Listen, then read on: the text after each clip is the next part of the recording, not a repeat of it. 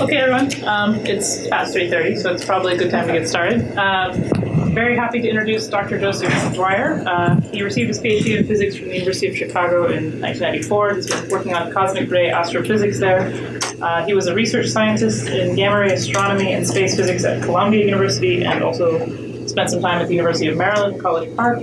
Uh, before joining the faculty at Florida Tech, um, there he served as chair before moving to the physics department um, at, at the Space Science Center at the University of New Hampshire, uh, where he is now. He works on uh, many topics, including terrestrial gamma ray flashes, terrestrial electron beams in the inner magnetosphere, X rays from laboratory sparks, uh, relativistic feedback charges, also known as dark lightning, um, and he helped establish the field of high energy atmospheric physics. So we're very happy to have him here today to tell us about gamma ray emission from thunderstorms and dark lightning. All right, well, thank you very much. Thanks for the opportunity to tell you about my research. So let me start off by saying a little bit about lightning. So these are sort of some gee whiz facts about lightning. So lightning strikes the earth about 4 million times every day. There's thunderstorms going around on around the world all the time. Uh, we get a lot of lightning in the United States, but there are other places we get lightning as well, Africa, South, South America. Uh, in the United States, lightning causes somewhere between four and five billion dollars in losses and damages every year. People get their houses burnt down, uh, disruptions to power plants, um, airlines have a lot of trouble with lightning, so on and so on. That adds up to about four or five billion dollars, so it's a big problem. And then lightning also kills and hurts a lot of people. Around the world, world, on average, lightning kills more people than either hurricanes or tornadoes. So uh, a lot of people are really afraid of these, but year after year, these cause more damage.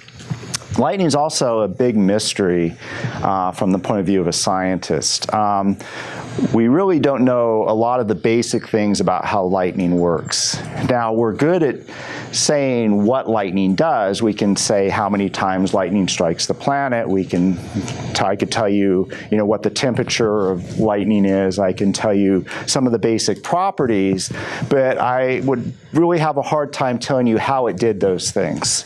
So uh, we're good at the sort of answering the what it does kind of questions, but not so good with the how questions. Of course, as physicists, we want that's what we want answers. How does it do it? So, for example, we really don't understand very well how thunderstorms charge up and produce the strong electric fields, what kind of electric fields are present inside thunderstorms. We don't have a good handle on that.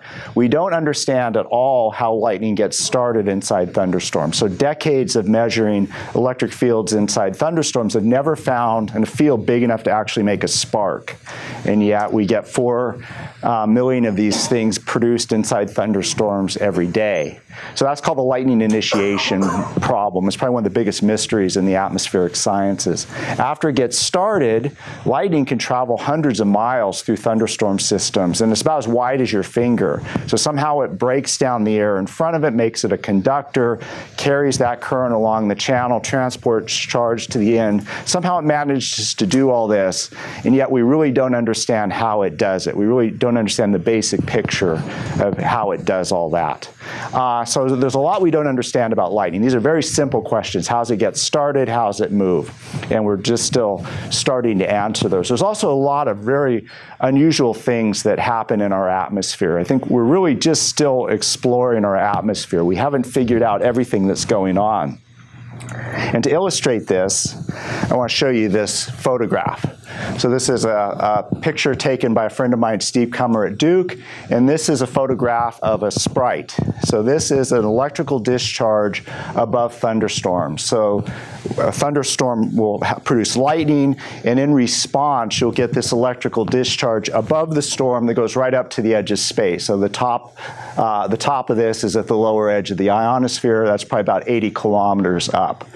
And to give you an idea how big this is, that is how the full moon would look compared to the sprite from one end of the state of Kansas to the other. So if this you were one end of Kansas, the sprite was above a thunderstorm at the other end of Kansas, you looked up, this is how big it would look compared to the full moon. These are bright enough to see, and nobody knew they were there until 1990. Okay, so we got these monsters up in the air, and we didn't know that, that they were there until just relatively recently. So if we can miss something like this, something this spectacular, what else is up there that we are missing? So another thing that we realize is up there are these.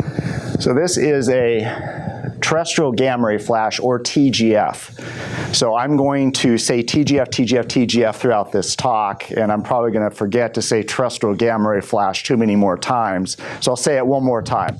Terrestrial gamma ray flash, TGF. So this is a burst of gamma rays coming up from the Earth's atmosphere. So what happened is back in the uh, early 90s, um, the Compton Gamma Ray Observatory, one of the great observatories, was launched and was started taking data. And this was, there's an instrument on board called BATSE.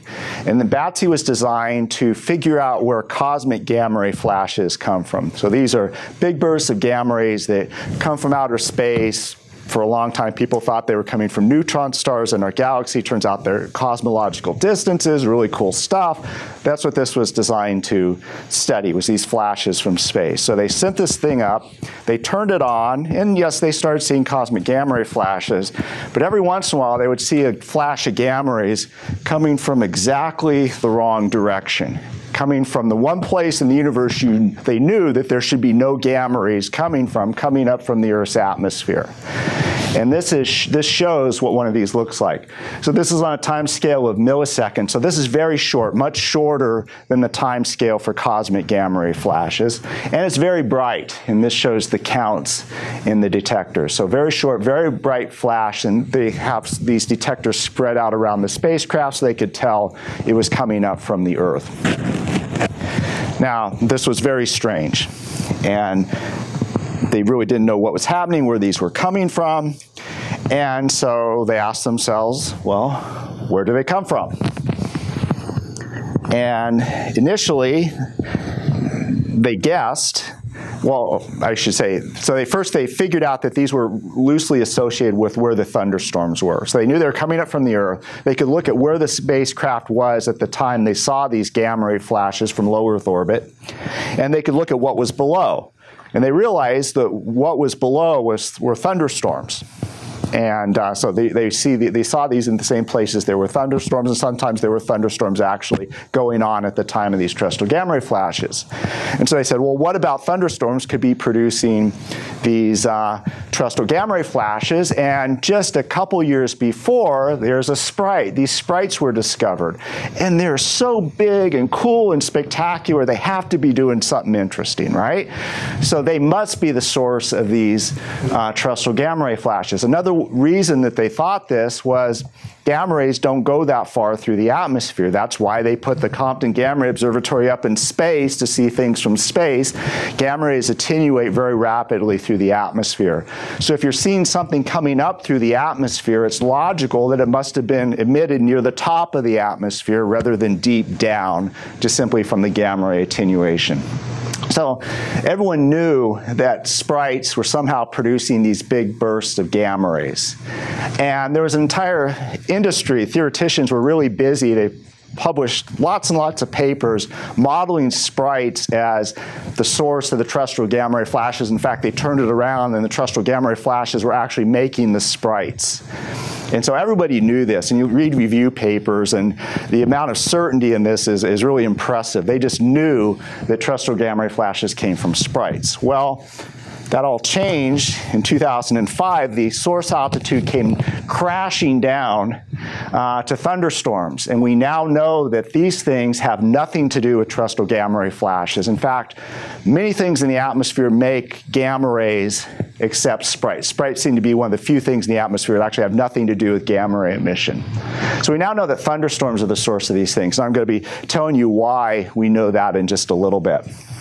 But let me first show you an artist's impression of what one of these terrestrial gamma ray flashes would look like if you could see gamma rays, maybe like super, if you're a Superman and could see x-rays and gamma rays, what would you see? Uh, so this, the pink here shows uh, the, this is actually from a Monte Carlo simulation. So this is from a real physics simulation. And this is showing you have a thunderstorm source, and this is sort of what you would see as the gamma rays come up and out of the atmosphere. Now, it's kind of an amusing story around this. Um, a few years ago, we discovered something about terrestrial gamma ray flashes, and NASA wanted to do a press release. And so they wanted a nice image of a terrestrial gamma ray flash and asked if I could put together something. So I had a Monte Carlo simulation, and so I ran it and, um, and made, you know, sort of fiddled with it and made it look nice.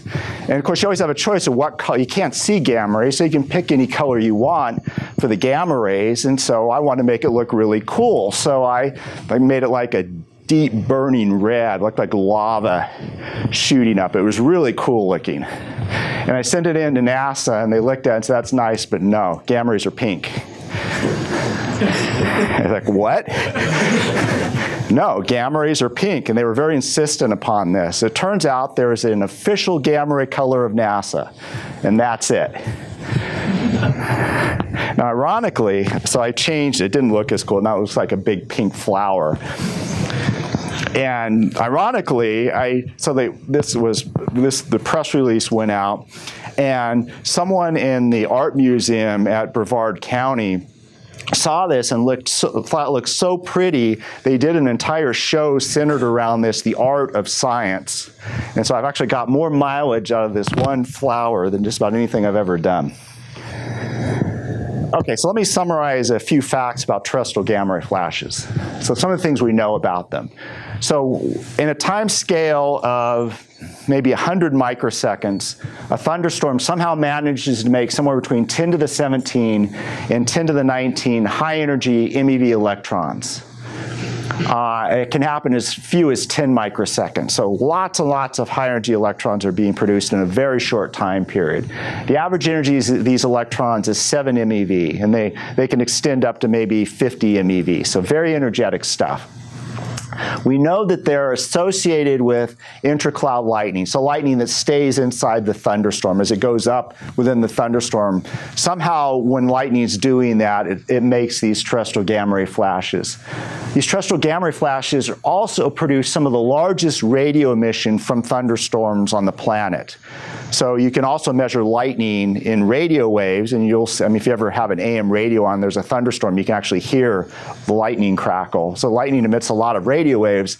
The, some of the most powerful radio waves emitted on the planet from thunderstorms are from these terrestrial gamma ray flashes. There's so many charged particles flying through the thunderstorm. They produce so much ionization that you get very large current pulses and lots of radio waves. Uh, so these are the things we know that it does, but it's very challenging to figure out how you get so many high energy electrons generated by a thunderstorm deep in the atmosphere in such a short time. So here's a piece that we think is going on. So this is a little snapshot of a Monte Carlo simulation. So Monte Carlo simulations, you put in all the physics and you try to, you try to simulate particles as they would really move. And so this has all the important physics. Uh, this, is, uh, this is a home-built Monte Carlo code, but it's similar to something like GEANT. So if you imagine a piece of air here, and you inject 125 MeV electron, so that, that could be from a cosmic ray. In fact, there's, you know, uh, as I'm speaking now, there's plenty of these electrons flying through the room right now, so they're not rare. Imagine just one of them, you inject it here and watch what happens. Well, as it moves through the air, it's going to ionize the air and it's going to lose energy. And so it's going to slow down, it's going to sort of scatter around, straggle around, and eventually come to a stop as it loses all its energy. So it came after about 75 meters, it came to a stop and it was absorbed. You also notice this sort of hair on the track. These are the so-called knock-on electrons. They're also called, for detector physics, they're called delta rays. These are just electrons that were in atoms that got kicked out of the atoms as the particle went through. So particle goes by an atom, it interacts, it scatters, and out comes a secondary electron, has a little bit of energy, not quite as much, and so they go some distance before they're, they lose their energy and are absorbed as well. So nothing very exciting here, nothing uh, terribly unexpected. So now I'm going to do the same simulation again, but I'm going to put in an electric field. Yes? Yes, this is a Monte Carlo simulation. And I'm going to show you another Monte Carlo simulation, the exact same simulation. The only difference is I'm going to add an electric field, the kind of an electric field that you would actually see inside a thunderstorm, the kind that has been measured inside thunderstorms. So this is what the picture looks like now. Same electron injected at the top, but now instead of stopping after 75 meters, it continues to gain energy from the electric field and exits the bottom. Now remember that, that uh, hair on the track, those uh, knock-on electrons? Now look what happens to them. Rather than stopping after a meter or so, they gain energy from the electric field and move out the bottom, and they can produce additional secondary electrons, which also accelerate. So for the price of one electron at the top, we have what? One, two, three, four, five exiting the bottom. This is an avalanche multiplication. And this is after 150 meters. Thunderstorms are big places. The electric field can extend for miles. And so every 150 meters, you get times five uh, more of these energetic electrons. So by the time you get to the bottom of the, the thunderstorm electric field, you can have a very large number of these. So this process, this is called, and I've got a little arrow to show it. This process is called relativistic runaway electron avalanche multiplication, or RREA. And this was introduced in 1992 by Gurevich and others. So this is thought to be one of the main building blocks in how you make energetic radiation, uh, X-rays and gamma rays coming out of thunderstorms is by these electrons accelerating in strong electric fields, yeah? So what about the effect of the Earth's magnetic field um, at these high speeds? Do there is a there is a yes. So if you put in the Earth's magnetic field and watch how this avalanche would develop, you would no, you would notice it um, going off to the side a little bit as it's as from the Lorentz force as they're deflected a little bit. It's not it's a small deflection. You can barely see it at thunderstorm altitude, but when you get above about 40 kilometers, then the story changes. Then the electrons will start following the field line, and I'll show you an example in a little bit where you can actually see that. So the basic idea of these runaway electrons, let me just show a little bit of details here. So this shows how an electron loses energy in air versus its kinetic energy. So this is the energy of an electron, and this shows, think of it as the drag force, how quickly it loses energy. And this curve right here, the dark one, is from ionization. And if you include bremsstrahlung, the X-ray emission, this is the, from the bremsstrahlung losses here. This part of the curve is actually, it's the famous Bethe-Bloch uh, energy loss curve. The um, very well known in physics.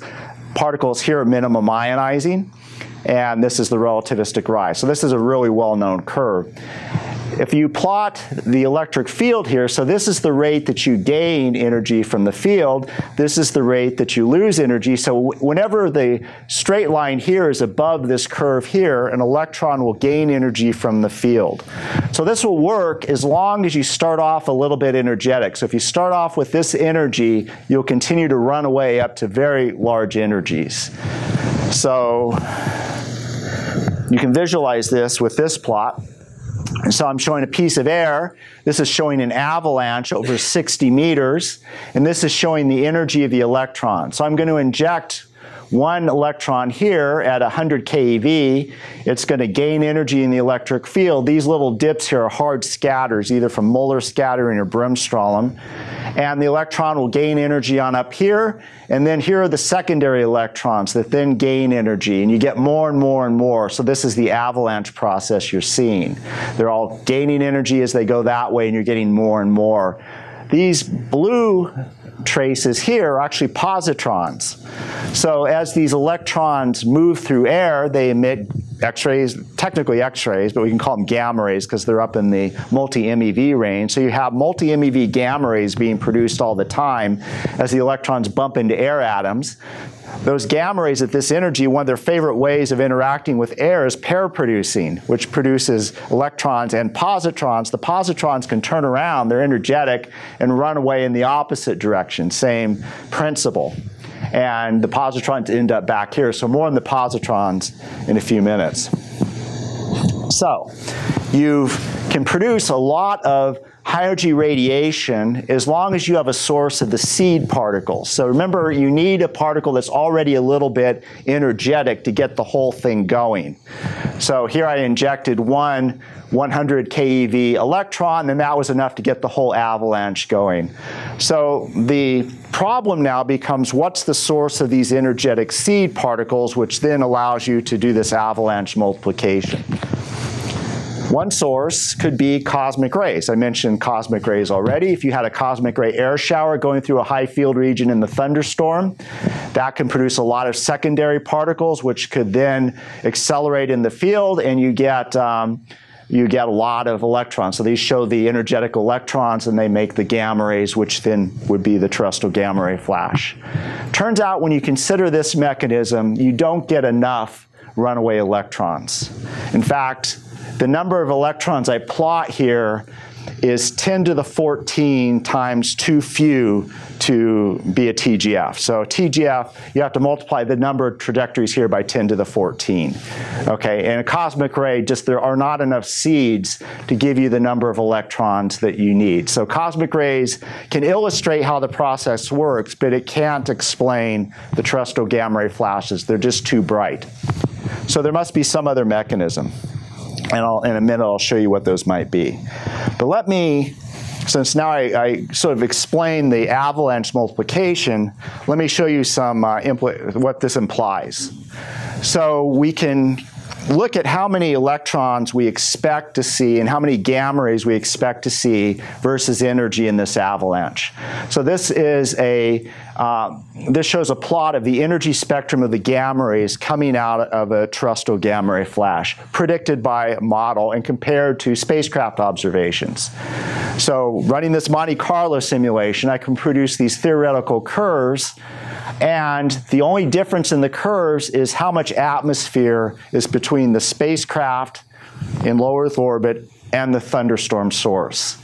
And as you go down in atmosphere, if you go down deeper in the atmosphere, the uh, spectrum flattens.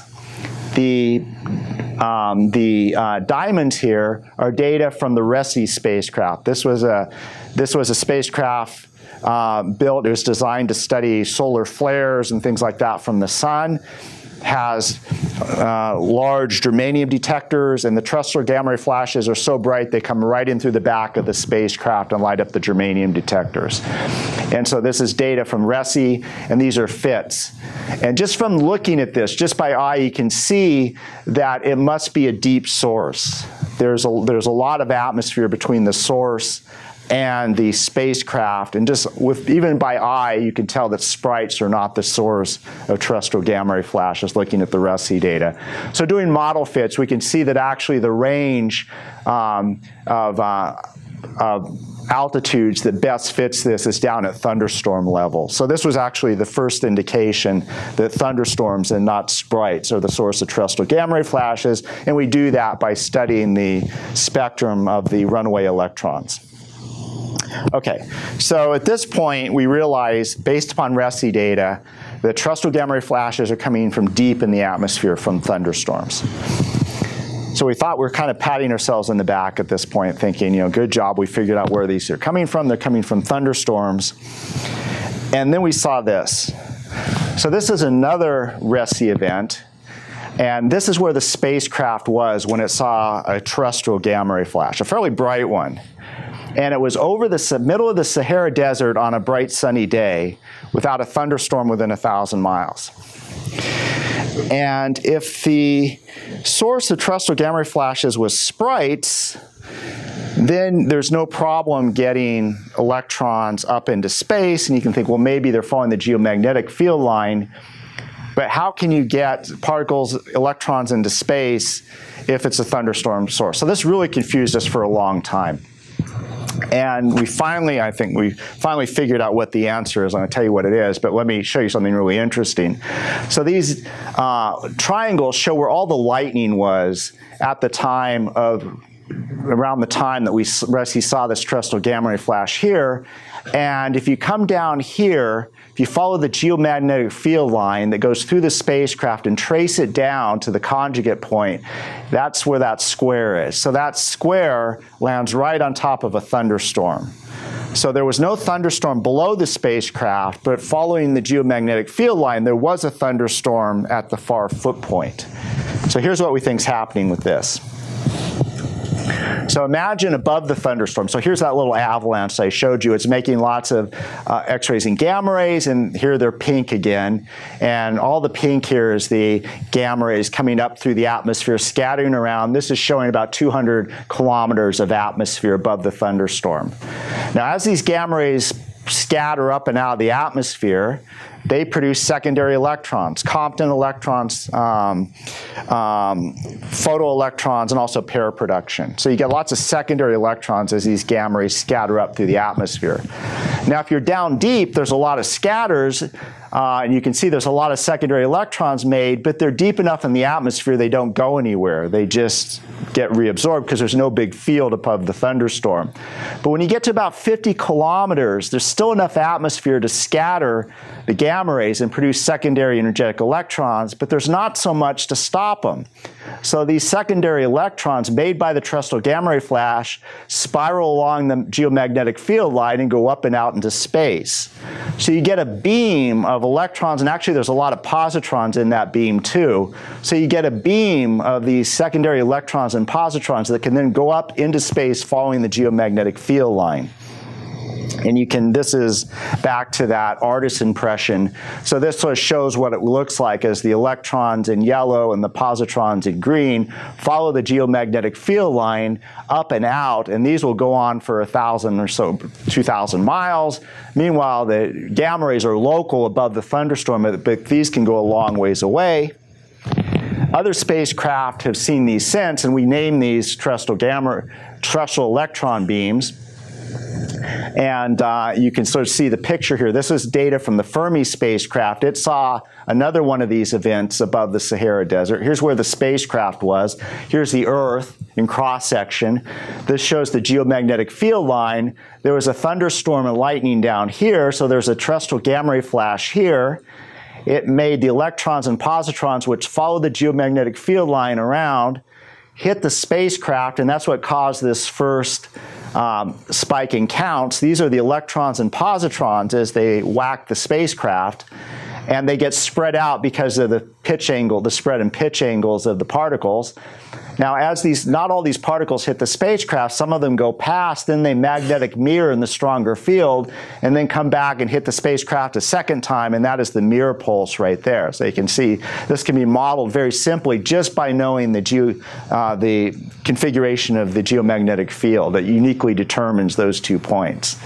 And also the uh, spacecraft lit up in 511, so there was a lot of positrons in the beam. So this was an electron positron beam that hit the spacecraft spacecraft. So this is a second phenomenon. This is um, terrestrial electron beams, a new source of energetic particles in the inner magnetosphere that was just figured out a few years ago. Okay, so all that is thunderstorms, what's happening above thunderstorms. So what about lightning? So what's going on with lightning? Is it doing anything interesting? Now, when I first got into this business, I was this is this is back around 2001. I was uh, I was a young assistant professor at Florida Tech, and I was looking for something to do with the students. And so I knew how to make X-ray detectors. I had been doing gamma ray astronomy and, and energetic particle measurements, and I was looking for something to do. And I meanwhile, you know, outside my window is boom, boom, boom from thunder, you know, thunderstorms were producing lightning. So I thought, well, is there anything I can do with lightning? So I contacted uh, some researchers at the University of Florida, and they said, yeah, come on over. We can trigger lightning, and you can set up your X-ray detectors. So these are my X-ray detectors. They're inside these white boxes or Faraday cages. These things like are like a 100 pound Faraday cage around these uh, sodium iodide detectors. So these measure good at measuring X-rays. They're shielded, use fiber optics, batteries, so they're really good Faraday cages. And this tower here has tubes that contain rockets. So these rockets are about that tall. If you ever done model rocketry, you'd recognize all the parts and pieces as a parachute. And instead of a sort of typical model rocket engine, they use like, I think, H engines. Engines are about that big. The main difference between these rockets and model rocketry is it has a spool of Kevlar coated copper wire at the bottom.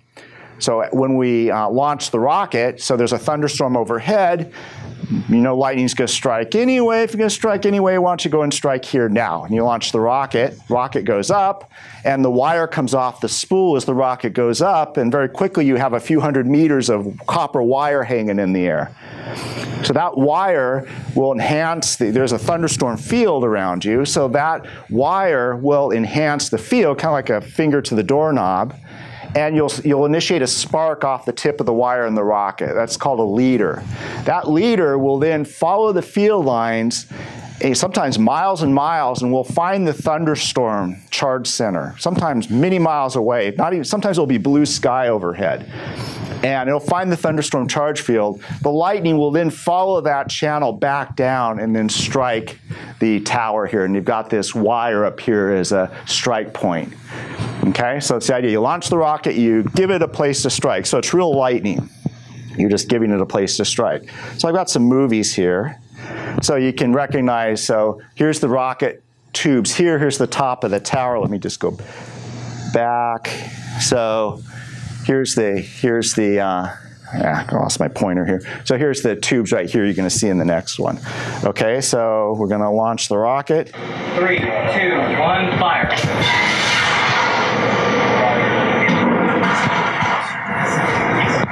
Let's do that in slow motion. I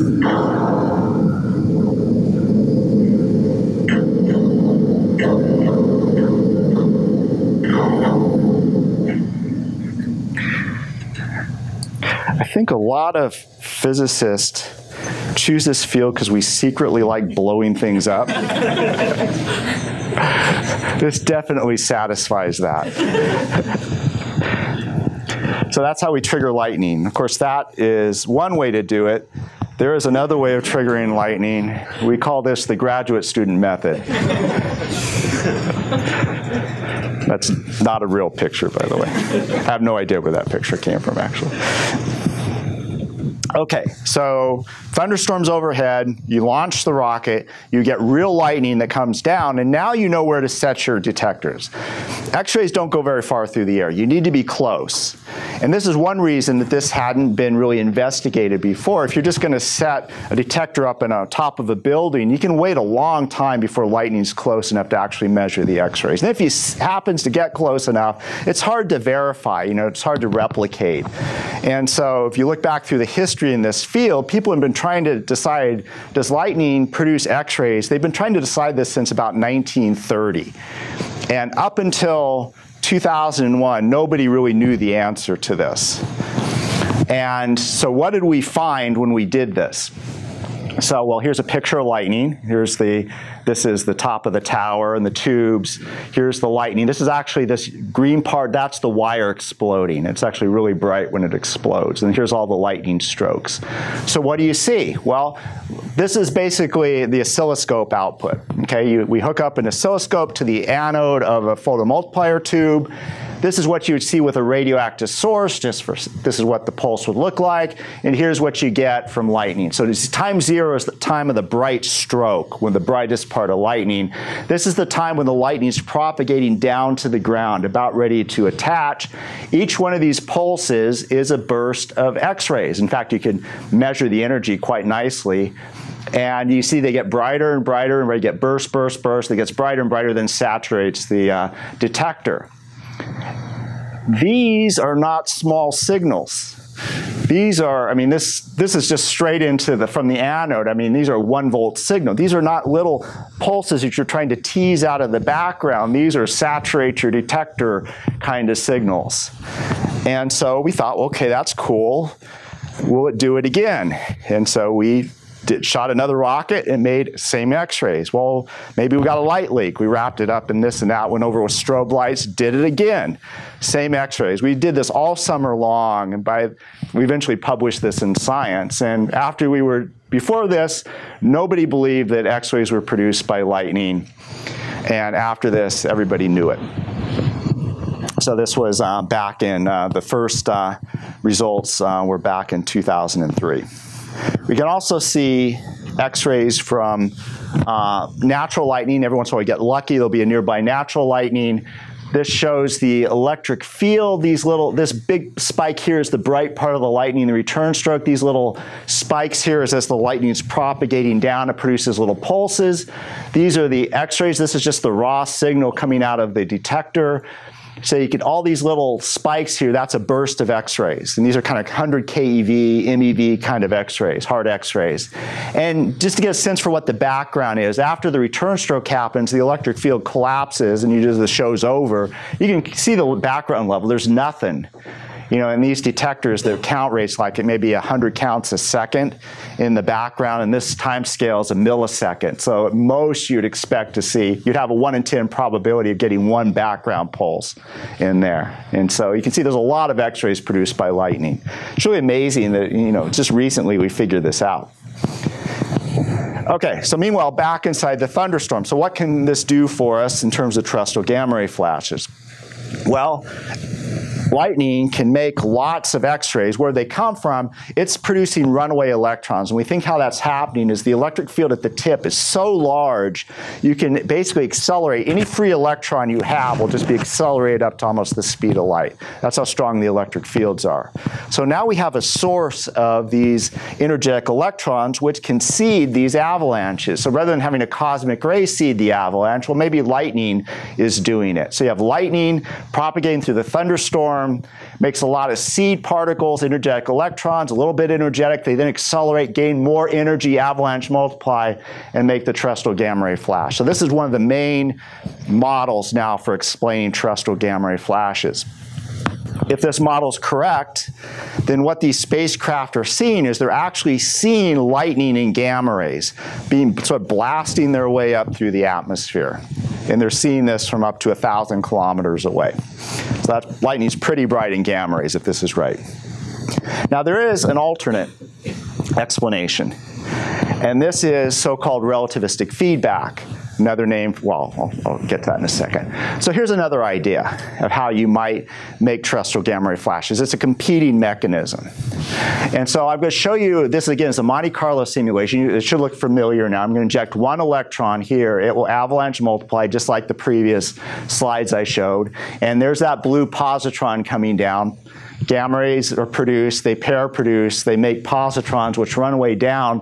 The thing about the positrons is they can kick out more energetic electrons and produce more electrons that can then run away. So you start getting secondary avalanches, which then make more gamma rays, more positrons, more secondary avalanches. So you get sort of an exponential growth of avalanches. It's a, it's a positive feedback effect.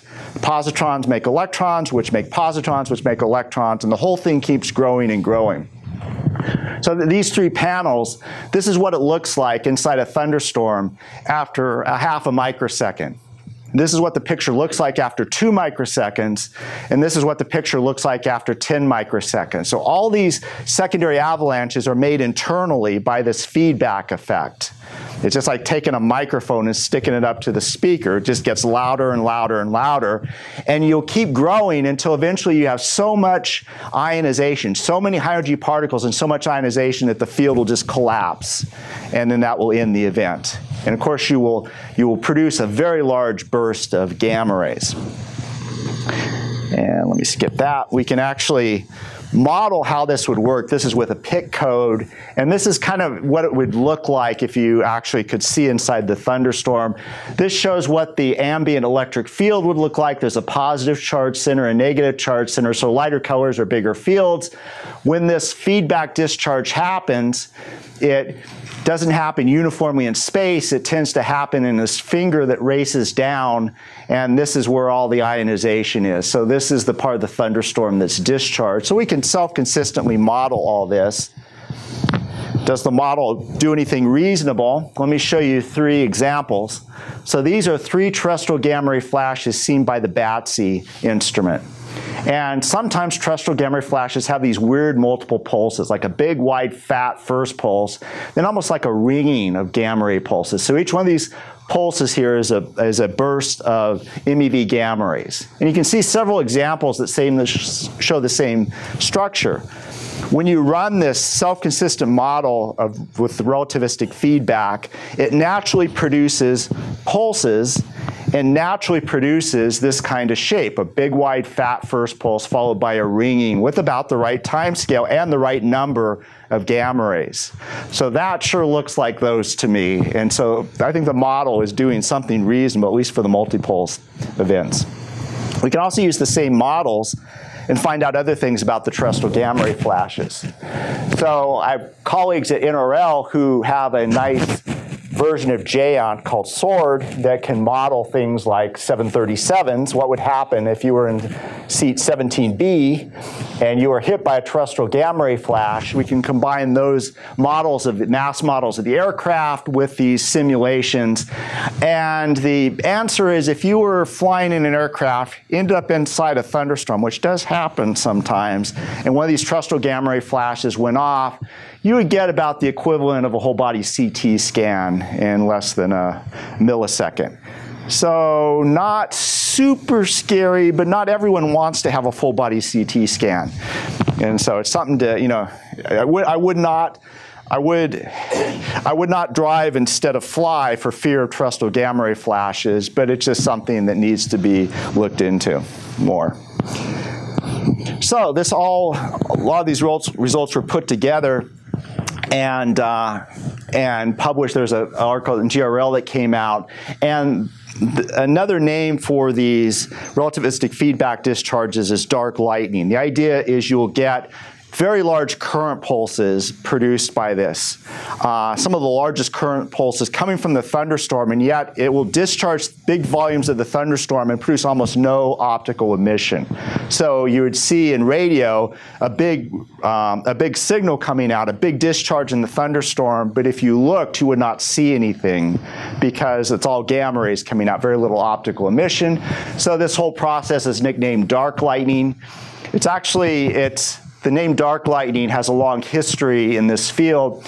Uh, was originally uh, referred to, it's called the, it refers to the, what's called the Clayden effect. If you look at really old photographic plates of lightning, sometimes there'll be, the channel will look actually dark. It's just a, it's how the photographic emulsion works. It's a photo, effect with the uh, photograph. And so it was called dark lightning. Of course, that's not physical, but the, this idea using this name is this is another way that thunderstorms can discharge that produces little optical emission. And this was the cover GRL. You may, this is not actually a photograph of dark lightning. If you remember my first slide of lightning, it's the photographic negative of that first slide, just for fun. Okay. Last topic I wanted to tell you about, there's one other thing that thunderstorms do that's kind of cool. So-called gamma ray glows. So thunderstorms can sort of produce this big spasm of gamma rays that come out very, very bright, so bright you can blind spacecraft in low Earth orbit. But they also can do something else. They can produce kind of a soft glow of gamma rays that can last at least minutes long, uh, maybe longer.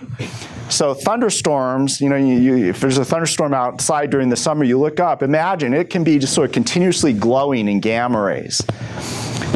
And to study these gamma ray glows, we, I was collaborating with uh, UC Santa Cruz, uh, David Smith and others there, and we had an instrument called ADELE, which flew on a Gulfstream 5. This is a, an NCAR NSF research aircraft. And we were flying this around trying to measure gamma ray glows, and if we got lucky, TGFs. And this actually shows some examples of as we flew past thunderstorms. You would see sort of this background, and you'd see these enhancements. These We'd see these as we would fly past thunderstorms. So as we went past it, the detectors would light up, and as we went away, they, uh, we wouldn't see it anymore.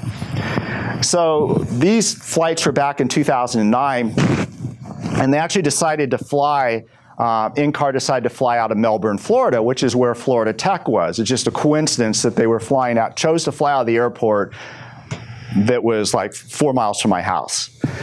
So I'm thinking, okay, I'm part of this project, and they needed people to, we, you know, we needed people on the aircraft to help with the instrument. And I really don't like flying all that much, but I mean, how many chances do you get to do something like this? So, okay, I'll go on this, go on these flights.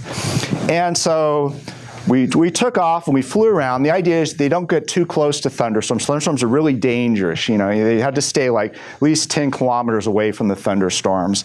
They'd fly past and they'd go around, and it was great. The, uh, these Gulfstream 5s have really large windows, and this thing flies really high. It's up, I think, like 43,000 feet. And so it's just beautiful. You can kind of look down the sides of these giant thunderstorm towers. You know, you're kind of, you know, you're staring down 40,000 feet on these faces.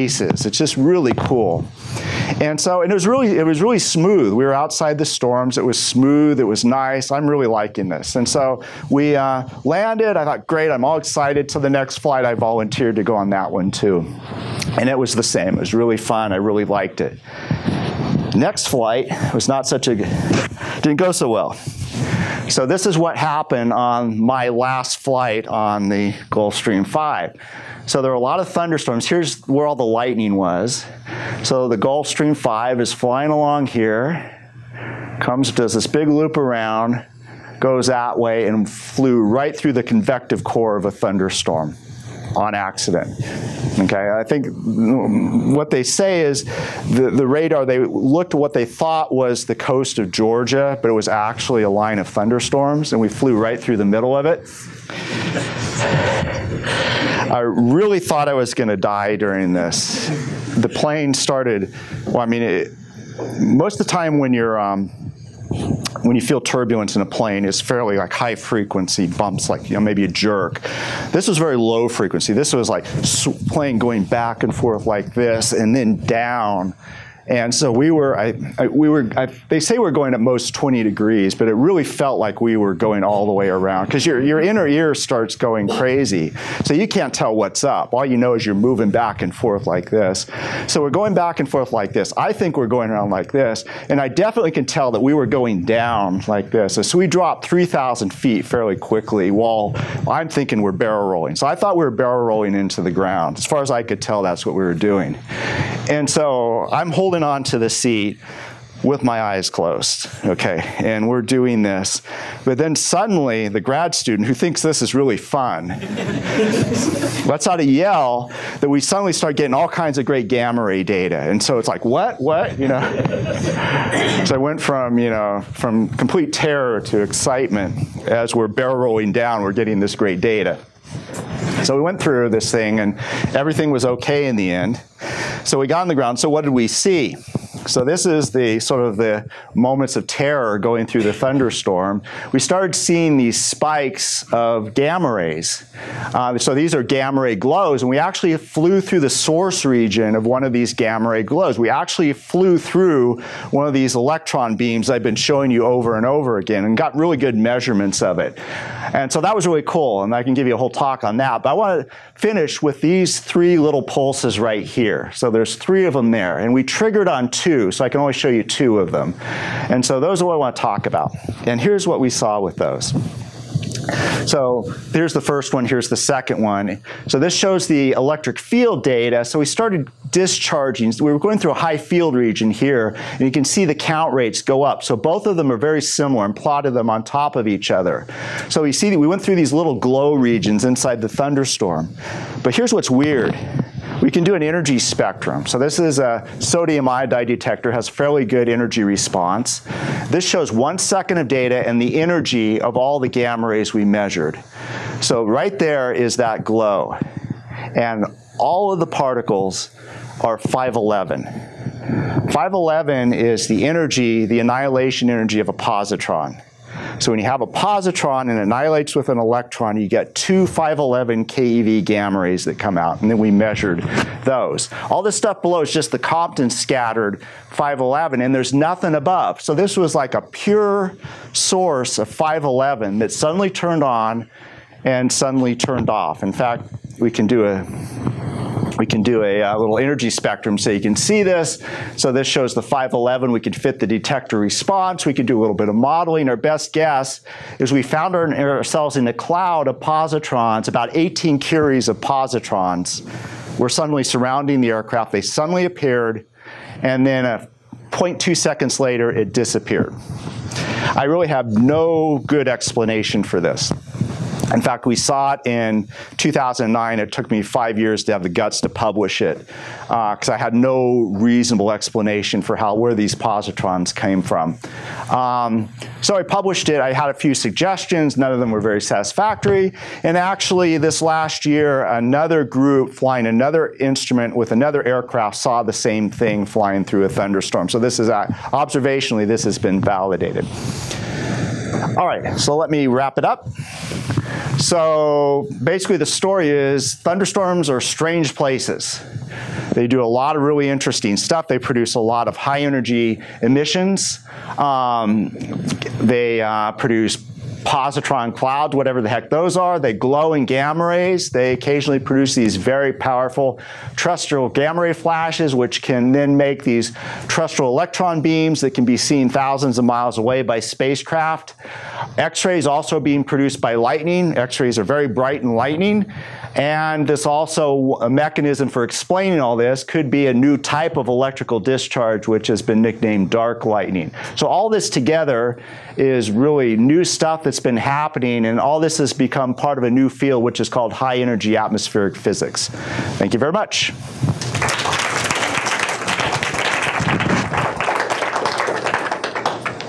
Do we have questions? Dark lightning is different from the regular lightning we see. Right? Correct. So They happen at the same time, Yes. different time or different condition. Both, probably. So we know that terrestrial gamma. So if dark lightning is correct, then terrestrial gamma ray flashes are a byproduct of dark lightning. One way of triggering dark lightning is to have normal lightning push the electric field up high enough so you get it. So what if there was normal lightning going on, it would be producing some light. Then in the middle, you get a you get a very large current spike with no additional light being produced. Or alternatively, sometimes maybe it's produced without any lightning at all. We don't know about that yet.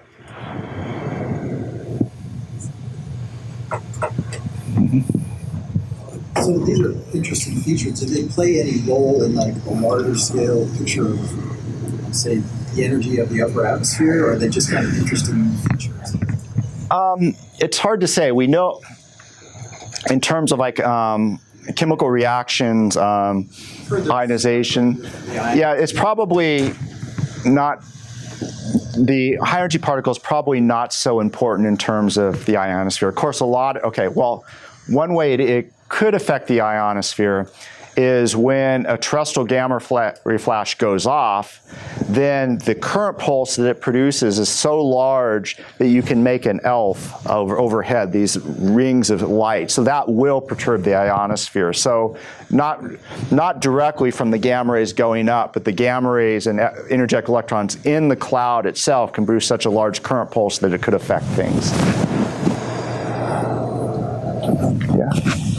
We have uh, probably billions of flashes of lightning per day. Right.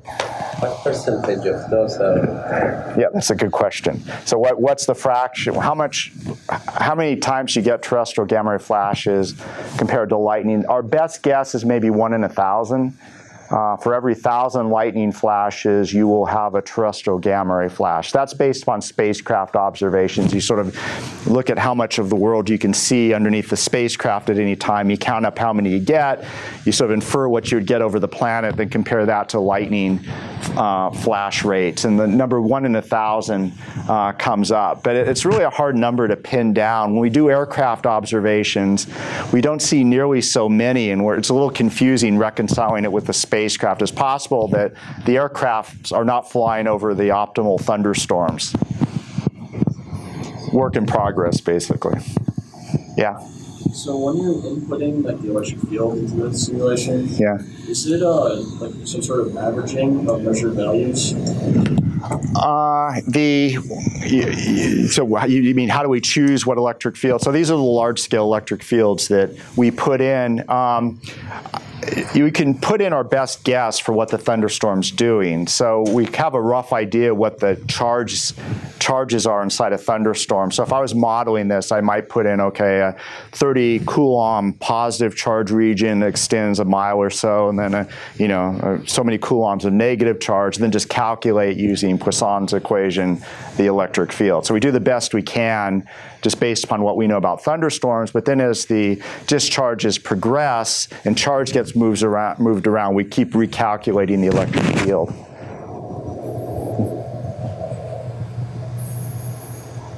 Yeah.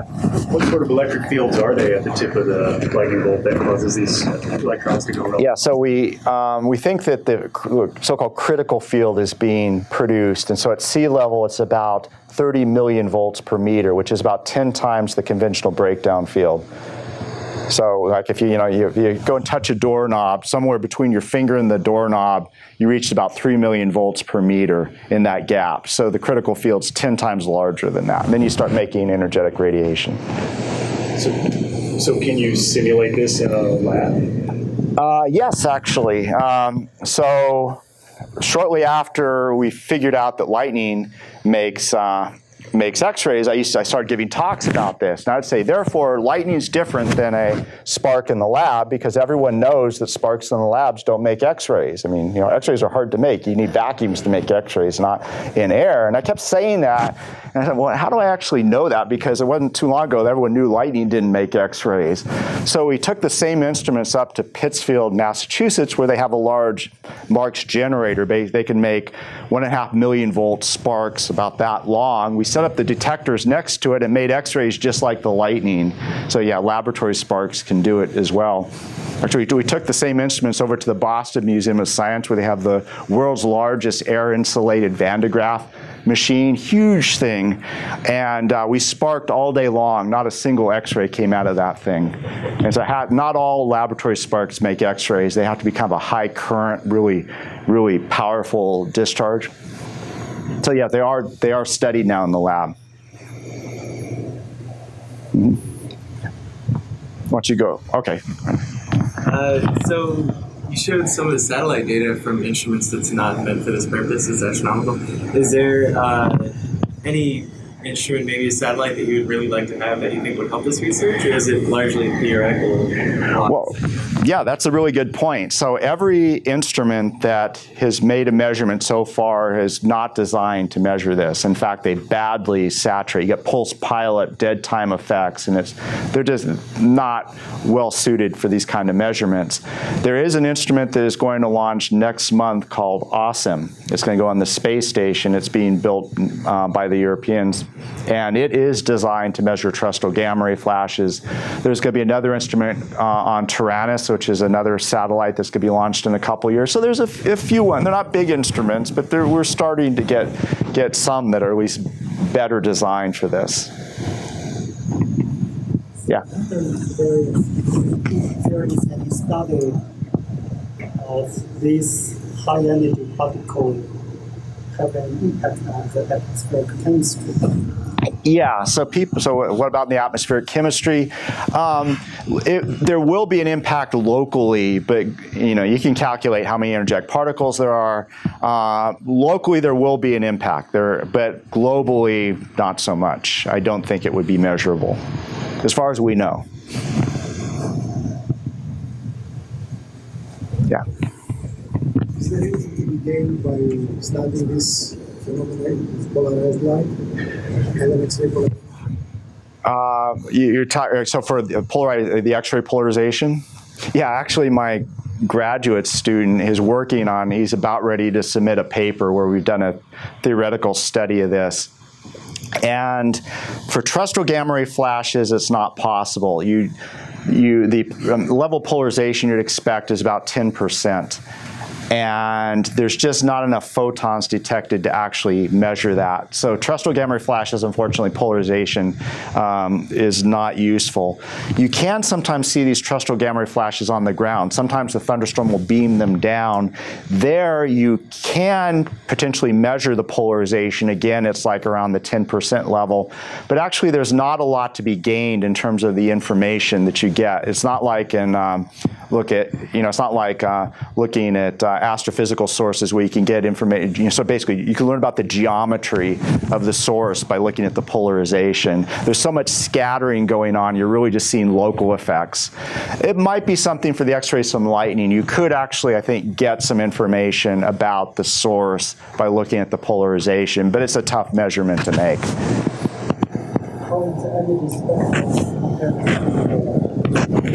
The the energy spectrum of the X-rays and gamma rays? gamma ray, Yeah, yeah. So for yeah, so for uh, lightning, natural and triggered lightning, the energy these are hard X-rays. The average energy is a few hundred keV. The spectrum extends up to maybe a few MeV. Typically, it's below an MeV, but uh, you know, a few hundred keV. So these are hard X-rays. The terrestrial gamma ray flash, the uh, these are multi-MeV gamma rays. The spectrum extends; it's exponential, but extends up to maybe 40 or 50 MeV. So these are pretty uh, energetic gamma rays. Yeah. Would you expect to see this effect on other planets like Jupiter? Use it to say something about the atmosphere of other planets? Yeah, so the I I published a paper a few years ago looking at all the physics of runaway electrons in a hydrogen helium atmosphere, and actually, uh, the Jovian atmosphere would work better for this. It's the you have you have lower z. Um, um, atoms, and so there's actually less scattering. So the the gas is a little more slippery in terms of the runaway electrons. So they sh- it should all work really well in uh, hydrogen helium atmosphere. So you should get lots of runaway electrons. And Jovian atmospheres, they produce thunderstorms. They're water ice thunderstorms, not too different from Earth's. And so, you know, if you have big thunderstorms on Jupiter, which must be producing big electric fields, it's probably producing runaway electrons like we get here on Earth. Now, the problem with Jupiter is here on Earth, you have not so much atmosphere. You have maybe um, 200 grams of atmosphere between the top of the thunderstorm or the gamma ray source and space. On Jupiter, the thunderstorms are deeper, so you have about one bar worth of atmosphere between the thunderstorm and space. And of course, then the spacecraft are farther away too. So it'd be pretty hard if you get the same number of gamma rays as on Earth in Jupiter, they wouldn't make it out of the atmosphere. But of course, Jupiter makes really big lightning, so maybe it makes larger versions of these. We really don't know. Keep going, or okay? Just tell me when to stop. Okay. um, you said that there was a lot of liter- literature published about trying to explain how gamma ray flashes came from sprites, Yeah. but they weren't. Right. So, do you have any idea where they were going wrong or any wrong assumptions that we a lot of it was wishful thinking, I think. It's, you know, in hindsight, it's very clear. uh, Well, okay, here's the basic problem. So the way you get a sprite is that thunderstorms make a really big electric field. And if you suddenly discharge the field here, the field will pop up up here. It's kind of like stepping on a bump in a carpet. You step on the bump here, the bump pops up someplace else. And so you end up getting a, a strong electric field near the top of the atmosphere, at least strong enough to create a discharge. So you get a conventional discharge, and that's the sprite. Now, if you look at what kind of potentials you get, though, the potentials are not that impressive. You don't get the hundreds of millions of volts that you need to make the runaway electrons. You get a big field, but not a big potential.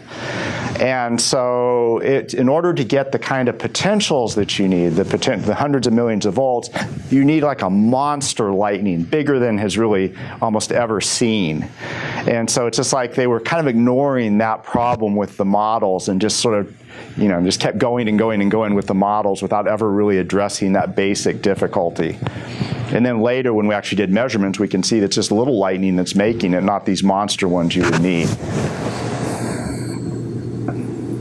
Okay, let's thank our speaker. Thank you.